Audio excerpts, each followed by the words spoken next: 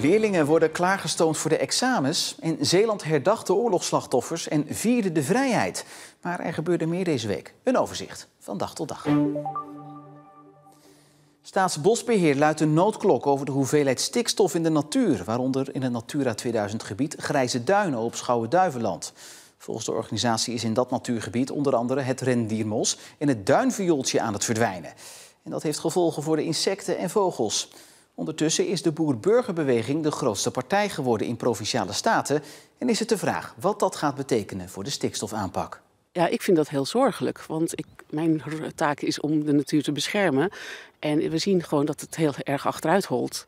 Dus de hele natuur holt achteruit. Als het in de basis niet goed is, dus de bodem niet goed is, um, dan heeft dat gevolg voor het hele ecosysteem. Dat er soorten kwijt zijn, kan je zeggen, ja, um, nou en. Maar ik vind dat wel heel erg. Het stikstofprobleem waar de natuur last van heeft, bestaat eigenlijk uit twee soorten stikstof. Het eerste is ammoniak, dat uit de poep en de plas van de koe afkomstig is. Het tweede is stikstofoxide. Dat komt onder andere uit de industrie, zoals hier achter mij, maar ook uit verbrandingsmotoren van auto's, schepen en vliegtuigen. En dat werkt als volgt. De stikstof die stijgt op en belandt verderop in de natuur. Het probleem daar is dat door die stikstof bepaalde natuur verdwijnt en juist andere bomen en planten gaan groeien. Er zijn gewoon soorten kwijt. En als je hier voorheen over het landschap keek, dan zag je dus een heel grijze waas van die grijze plantjes. Als je nu kijkt, is het groen. Dus al die grijze plantjes zijn hier al weg. En alle insecten dus ook. Dus ja, we zijn hier al over, uh, als soms zeggen we 5 voor 12. Volgens mij is het hier al lang over 12. Dat die stikstof opstijgt en elders neerkomt is in Zeeland een extra groot probleem. En dat komt met name door schepen op de Westerschelde die door Zeeland varen en flink uitstoten. Maar ook industrie aan de Belgische kant, waar de stikstof omhoog gaat en in Zeeland neerkomt. Terug in het Natura 2000 gebied Grijze Duinen op Schouwen-Duiveland, waar de stikstof voor gevolgen zorgt. Dat vindt tenminste een deel van de Zeeuwen. Er is ook een groep die vindt dat het niet zo erg is. Staatsbosbeheer wil daar liever niet op ingaan. Als organisatie zijn ze naar eigen zeggen er voor het behoud van de natuur. En dus is het een politieke discussie. Het Rijk de provincie, maar ik denk dat er heel snel nu wel maatregelen moeten gebeuren om uh, de, de uitstoot te verminderen. Op dit moment komen bijvoorbeeld de tapuiten terug uit uh, de Afrikaanse savanne. Die komen hier om te broeden. Uh, die houden van een open landschap. Nou, dat, dat is er. Ze houden van konijnenholen om in te broeden. Dat is er. Uh, maar ze moeten ook eten hebben. En dat is er niet. Een andere soort is bijvoorbeeld een, een duimviooltje. Gewoon een heel leuk viooltje. Uh, die kan niet tussen al deze mossen groeien. Die heeft echt een open ruimte nodig. Die heeft kale grond nodig. Als het duimviooltje niet meer groeit, dan hebben we ook geen parelmoervlinders meer. Want die leggen alleen maar de eitjes op het duinviooltje. Want die larven, de rupsjes, eten alleen maar duinviooltje. Dus als je de ene soort niet hebt, ben je ook de andere kwijt. En zo gaat het voor heel veel soorten. Alles hangt met elkaar samen. Dus als je hier dus te veel stikstof hebt uh, en dus heel veel brandnetels en andere soorten krijgt, dan ben je dus echt die soorten die hier specifiek thuis horen, ben je gewoon kwijt. En om die stikstofproblematiek aan te kunnen pakken, wordt er hier bij de provincie nu gewerkt aan een plan, het zogeheten gebiedsprogramma. Dat moet voor 1 juli klaar zijn, maar met het oog op de nieuwe coalitie is het nog maar de vraag of die deadline gehaald gaat worden en hoe dat plan eruit gaat zien. Wie beweert dat leerlingen tegenwoordig lui zijn en docenten alleen vanwege de lange vakantie voor de klas staan, moesten deze vakantie maar eens gaan kijken op het Lodewijk College in Terneuzen. De school organiseerde zelf examentrainingen om de leerlingen zo goed mogelijk voor te bereiden op de komende eindexamens. Tegenwoordig krijgt één op de drie scholieren bijles of examentraining via een particuliere instelling of via de school. En wat ik wil is dat jullie nu de laatste stappen afmaken. Dus dat is stap 4 en stap 5. Examentraining op het Lodewijk College. In de meivakantie komen zo'n 200 leerlingen uit heel Zeeuws-Vlaanderen hier samen om zich voor te bereiden op de examens. Het is door school georganiseerd en ik vind het wel handig om dan wel extra te kunnen meekrijgen door een docent, door wel extra uitleg. Zeg maar. Het is wel in de vakantie, maar alsnog vind ik het wel handig dan om 3,5 uur naar school te komen om uh, extra uitleg hiervoor te hebben. We zijn bijna klaar met de uh, middelbare school dan, dus ja, daar heb ik het wel voor over om te doen. Ook docenten offeren er een deel van hun vrije dagen voor op. Nou, daar staat u dan in uw vakantie voor de klas. Zeker, met heel veel plezier. Ja, echt? Ja, ja, het is altijd heel leuk om te doen. De leerlingen zijn gemotiveerd, ze werken hard, uh, ze doen echt heel erg hun best. Uh, het is echt superleuk om het te geven. De extra aandacht en lessen geven leerlingen meer vertrouwen. En dat kunnen sommigen best gebruiken. Ja, wiskunde vind ik toch wel een van de lastigste. En ehm, wat vind je er zo lastig aan? Ehm, ja, gewoon hoe je moet weten wat je precies moet berekenen en zo. Want er zijn zoveel formules. Dus dat vind ik heel lastig om allemaal te kunnen onthouden. Nou heb je hier dus extra trainingen. Eh, helpt dat je? Ehm, ja, want ik moet echt wel inderdaad veel meer oefenen met wiskunde. Dus hier kan je dan ook nog vragen stellen. Dus dat is echt wel heel erg handig. Weet u het nog? Ik weet het nog goed. Eind jaren 90, eindexamen HAVO. Spannende tijd. Wat ik kreeg van mijn ouders, een dikke knuffel, een kopje thee en een extra koekje. Maar daar bleef het dan ook wel bij. Nou, dat is nu wel anders. Schaduwonderwijs heeft een enorme vlucht genomen. Miljoenen gaan erin om. Alles op alles wordt gezet om de beste prestaties boven te halen. Bij de plek van de G heb je dit getal genomen. Hoe kon je er ook alweer voor zorgen dat je niet ging werken met een afgerond uh, getal? Hier op het Lodewijk College zijn de extra trainingen praktisch gratis. Elders in Zeeland en Nederland is dat al lang niet meer zo. In 1995 gaven ouders 26 miljoen euro uit aan bijlessen en trainingen. In 2020 was dit al 328 miljoen euro. Sommige docenten hebben daar zo hun bedenkingen bij. Ik vind het eigenlijk jammer dat het moet. Het zou fijn zijn als dit in de reguliere lessen zou kunnen zijn en dat dat niet in de vakanties hoeft en niet als extra training. Maar ja, in de lessen zit je gewoon toch met uh, grotere klassen, met een vol rooster, leerlingen die heel veel uren achter elkaar hebben. En nu sommige leerlingen hebben één of twee examentrainingen per dag. Nou, dat is drie uurtjes per dag. Dan zijn ze ja, er gemotiveerder voor dan als ze een hele dag in de sleur zitten. En ze gaan er toch ook vaak meer voor. Dus het is heel jammer dat het moet. En ik hoop ook wel dat het meer naar de reguliere lessen weer terug zal gaan. En bijles minder. Maar ja, de extra aanvulling is wel fijn dat het nu kan. Nog even blokken nu het nog kan. De schriftelijke eindexamens beginnen op 11 mei. Kan Vlissingen weer financieel op eigen benen staan? Daar overleggen de gemeente en het Rijk over. Sinds 2015 is Vlissingen een zogenoemde artikel 12 gemeente en staat het onder curatele van het Rijk. In principe zou dat nog zes jaar duren, maar nu wordt er gekeken of dit volgend jaar al kan worden beëindigd. Vlissingen kwam in de financiële nood door grote verliezen bij de grondverkoop en financieel wanbeleid. Artikel 12-status heeft de gemeente weliswaar gered, maar heeft ook nadelige gevolgen gehad voor bijvoorbeeld de cultuur. Artikel 12 was uh, ja, bijna toch wel de fatale klap. De sleutel hing op de deur en hij ging niet meer open. Jaap van Boven van Podium de Piek in Vlissingen is een ondernemer met hart voor cultuur. Hij zag hoe zijn stad sinds Vlissingen acht jaar geleden een artikel 12 gemeente werd, klap op klap kreeg. Daar is natuurlijk enorm, uh, ja, met de bottenbijl in die uh, prachtige boom die cultuur heet gehaakt. En die is eigenlijk verdwenen. Alleen de wortels zijn er nog. Dus misschien kunnen we vanuit die wortels weer wat nieuws opbouwen hier op het gebied van cultuur in Vlissingen. Dat is echt heel hard nodig. Maar om dat te kunnen doen, moet Vlissingen eerst van die artikel 12 status af. Dat wil de gemeente graag, want Vlissingen is als enige in Nederland aan de bedelstaf geraakt. Maar Geoffrey Sips, sinds vorig jaar wethouder, benadrukt dat het ook moet kunnen. Dat hangt af van onze miljardenbegroting. Die is nu sluitend, die moet sluitend blijven. En het gaat natuurlijk over onze weerstandscapaciteit, oftewel de buffer. Die moet wel groot genoeg zijn om eventuele risico's te kunnen opvangen in de toekomst. Vlissingen heeft sinds het begrotingsjaar 2015 de artikel 12 status. En het grote nadeel daarvan natuurlijk is dat je niet zelf beleid kunt maken. Maar er is ook een groot voordeel, namelijk geld. Veel geld dat je krijgt als gemeente. In de afgelopen jaren was dat 75 miljoen euro. En dus zou je ook kunnen zeggen, blijf lekker artikel 12 gemeente. Die begrijp ik, maar uh, artikel 12 status heeft natuurlijk wel wat gedaan. En nog steeds voor onze inwoners, de ondernemers, de, de, de, de, de horeca in Vlissingen. Iedereen uh, draagt daar zijn steentje aan bij. En dat is natuurlijk voor best wel wat organisaties best wel heel zwaar. Onderdeel van de strenge eisen van het Rijk om Vlissingen de miljoenen te geven... was het verhogen van de belastingen voor de inwoners. Bekendste voorbeeld is de OZB-belasting.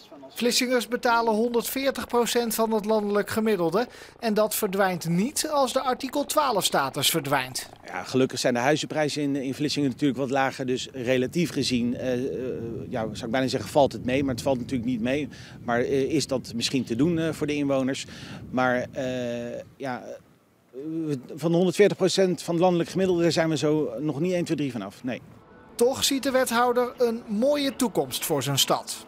Ik denk dat de toekomst er heel mooi uitziet. En als wij eruit zouden kunnen met meer beleidsvrijheid, dat het ook voor de ondernemers, de inwoners, de kunst en cultuur toch weer wat meer ruimte gaat geven. Zo, nog even een postertje erbij, jongens. Voor Van Boven klinkt die boodschap als muziek in de oren. Extra ondersteuning vindt hij hard nodig, want cultureel Vlissingen ligt nog altijd aan de beademing. Wat hebben we nu nog over? We hebben 5 mei. Eh, de cultuurwerf doen nog een heel klein beetje onderstroom uh, eerste week juli. Dat was het. En wij doen dan nog die 50 concerten per jaar. En dan heb je het wel een beetje gehad. In de komende tijd kijken het Rijk en Vlissingen wanneer de gemeente weer op eigen benen kan gaan staan. Volgend jaar al of toch pas in 2029, zoals was afgesproken. De binnenstad van Middelburg was woensdag omgetoverd tot een heus wetenschapsdorp vanwege een landelijk festival. Kinderen konden allerlei proefjes doen, vragen stellen aan bekende wetenschappers of op ontdekkingstocht door de stad. Met allemaal als doel ze nieuwsgierig maken voor de wetenschap. Ik ben nu bij een sloot waar fosfaat in zit. En wat moet je dan precies doen? Uh, ik zorg ervoor dat het fosfaat uit het water wordt gehaald. Kan je blazen? Kan je hem op de grond zetten? En dan... Zo'n 6000 kinderen en hun ouders zijn vandaag naar Middelburg gekomen voor Expeditie Next, een landelijk wetenschapsfestival. Ze kunnen hier van allerlei proefjes doen, kennis maken met de wetenschap, maar ook vragen stellen aan bekende Nederlanders, zoals astronaut André Kuipers. Hoe was je jezelf in de ruimte? En wat had hij daarvoor antwoord op? Nou, met babydoekjes of met water en dan doe je dat makkelijk met de handdoeken eraf. Ik had ook een vraag uh, bij de uh, opening uh, van waar, waarom heeft u zo'n ding op uw hoofd? Ik had een, een microfoontje. Dat is een mooi voorbeeld van opmerkzaamheid. Van, ja, waar, waar dient dat eigenlijk voor?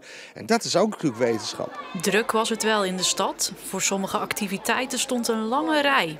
Ook de excursie door de stad van boswachter Tim, bekend van televisie, was al snel volgeboekt. Fans wilden ook graag met hem op de foto of een handtekening. Wat is er zo leuk aan Tim? Ja, hij, gaat, hij komt op tv. Het is superleuk om te kijken, want je kan dingen leren. In je achter heb je een park. Ik ben de naam alweer vergeten van het park. Maar een vrij nieuw park. En dan zie je dus eigenlijk dat er al in zeer korte tijd superveel bijzondere soorten uh, te ontdekken zijn. En dat is het leuke, want ik ken ook niet alle namen. En dat ben ik dus aan het ontdekken met de kinderen. Het wetenschapsfestival is niet alleen voor de lol. Het is ook de bedoeling dat kinderen op een positieve manier in aanraking komen met de wetenschap. En later misschien wel een baan erin vinden. Of toch niet? Nee. Waarom niet? Vind ik niet leuk. Wat zou je dan wel willen worden? Basketballer. Voor andere kinderen die wel de wetenschap in willen, heeft André Kuipers nog een tip. Geef niet op, zeg nooit tegen jezelf dat je iets niet kan. Overal in Zeeland werd donderdag stilgestaan bij de oorlogsslachtoffers sinds de Tweede Wereldoorlog. En die behoefte om te herdenken is groot, als je afgaat op het aantal oorlogsmonumenten. Sinds begin deze eeuw zijn er in Zeeland alleen maar bijgekomen. 41 om precies te zijn, waardoor er nu 195 monumenten in totaal zijn. En een van die monumenten staat in Kloetingen. Het herdenkt negen Kloetingers die tijdens de oorlog zijn omgekomen. Maar staat op het graf van de Canadese soldaat Jean-Marie Dicaire. In tegenstelling tot zijn omgekomen landgenoten ligt hij niet op een ereveld, maar als enige in Zeeland. In het Noodkerkje bij het Bevrijdingsmuseum vertellen een foto en een houten kruis het verhaal van Jean-Maurice Dicaire. Een jonge Canadees uit een gezin van 13 kinderen, de jongste van het gezin. Ja, en hij sloot zich op 17-jarige leeftijd aan bij het Canadese leger. Eigenlijk mocht dat nog niet, je moest 18 zijn. Maar hij kreeg het toch voor elkaar. En hij werd uiteindelijk met het regiment de Maisonneuve ja, uitgezonden richting Nederland. Uiteindelijk eh, kwam hij uit op de Brabantse Wal in oktober 44. Nou, daar is hevig uh, strijd geleverd. En uiteindelijk trok hij Zeeland in. Maar bij een brug ja, werd hij geraakt door een mortiergranaat. Nou, hij belandde uiteindelijk in het hospitaal. Maar ja, hij is overleden. De meeste soldaten werden begraven op erevelden, zoals hier op de Canadese begraafplaats in Berg op Zoom. Ja, daar liggen heel veel uh, geallieerde militairen die tijdens de slag om de Schelde gevallen zijn. Maar Jean-Maurice Dicaire bleef in Kloetingen achter. Waarom hij precies in Kloetingen is begraven is niet bekend. Zijn tijdelijke markeringskruis kwam bij toeval terecht in het Bevrijdingsmuseum. Er staat een spellingsfoutje op, ook dat gebeurde in die, in die tijd. Maar ja, op een gegeven ogenblik heeft hij een mooi nieuw uh, ja, markeringskruis op zijn graf gekregen. En toen is dit kruis uh, ja, in een bergplaatsje beland op het kerkhof, wat op een gegeven ogenblik werd opgeruimd. En al de oude spulletjes stonden bij de vuilnis, maar gelukkig was er een oplettende zeeuw die dacht, dat is toch veel te bijzonder om weg te gooien. En hij bracht het hierheen. Behalve herdenken in stilte werden er ook andere dingen gedaan op 4 mei. Zo werden in onder andere Middelburg struikelstenen schoongemaakt. De messingsteentjes liggen voor huizen van waaruit Joodse Zeeuwen tijdens de oorlog zijn weggevoerd en later zijn omgekomen. Het, is in het normale straatbeeld denk ik de enige manier om het je te herinneren. Er zijn heel veel meer mensen overleden in de oorlog en daar zijn wel monumenten voor, maar niet als jij gewoon ergens loopt dat je patsboom denkt, hé, hey, hier staat de naam van iemand die uh, in de oorlog verdwenen is, op wat voor manier dan ook. Dus dat maakt wel het onderscheid. Volgens de vrijwilligers is het belangrijk dat deze stenen goed te zien zijn in de straat. Juist in Middelburg is het vandaag heel druk. En dan denk ik, als die stenen blinken, dan vallen ze op. En ik zag net al één gezin die met zijn hele gezelschap daar ineens letterlijk voor stil vielen. En dat was toevallig een plek waar er vijf lagen, die dat dus uitgebreid stonden te lezen. En daar doe je het eigenlijk voor. De vrijwilligers moesten wel iets overwinnen om aan de schoonmaak te beginnen een stukje trots, maar ook een stukje schaamte of, of gêne in eerste instantie om op mijn knieën midden op straat te gaan zitten poetsen. Dat was wel even een drempel om overheen te gaan. Maar toen dacht ik, ja, het is voor het zogenaamd goede doel. En daar doe ik het voor. Behalve herdacht werd de vrijheid deze week ook gevierd tijdens Bevrijdingsdag. En dat gebeurde traditiegetrouw op de bevrijdingsfestivals, zoals in Vlissingen. Bevrijdingsdag, ja, ik kan het hier goed vieren. En uh, super mooie locatie altijd, Vlissingen. Ik vind het wel leuk om gewoon uh, bandjes te komen kijken en uh, ja, gewoon genieten van het vandaag iets minder mooie weer. Maar in tegenstelling tot andere bevrijdingsfestivals ondervond het festival in Vlissingen vanmiddag geen grote problemen door de regen. En dat is maar goed ook, want regen zou bezoekers weghouden en vervelende financiële consequenties hebben. Ja, wij zijn zo afhankelijk van de inkomsten die, die de horeca met zich meebrengt. Helaas. Want dat we echt niet, eh, niet zonder eh, een hoge opkomst van publiek kunnen. De financiële situatie van de bevrijdingsfestivals is penibel en werd verergerd door de sterk gestegen prijzen. Het bevrijdingsfestival wil dan ook meer steun van de overheid. In woord uh, worden we heel veel ondersteund, in daad worden we echt ondersteund. Maar uh, uiteindelijk mo moeten we allemaal, uh, alle mensen die hier zijn, die willen, moeten er een boterham aan overhouden uiteindelijk. En dat, wat mij betreft hoeft dat geen dik belegde boterham te zijn, maar ja, ik ben er een heel jaar mee bezig. Ik, wilde, moet er wel van kunnen leven, ja. Ventevogel heeft in aanloop naar het festival al meerdere keren aangegeven dat een gratis festival niet langer houdbaar is als er geen extra steun komt. Bezoekers zouden begrip hebben voor een betaalde toegang. Als het, ik veel, 5 euro is, net iets duurder, zou ik misschien nog wel doen. Maar ligt er ook echt aan welke band ze komen als ik het interessant vind. Ik ben er wel bereid toe, maar je ontneemt een hoop mensen wel uh, de toegang dan. Ik denk niet dat iedereen het kan uh, neerleggen. Ja, maximaal 20 hoor, dat is wel, anders wordt het wel echt duur. Zou je de stap durven wagen? Nee, dat is echt de allerlaatste stap die ik zou willen nemen. Dus uh, daar is voorlopig geen sprake van. Nee. En zo bent u weer helemaal bijgepraat. Nog een hele fijne avond en graag tot morgen.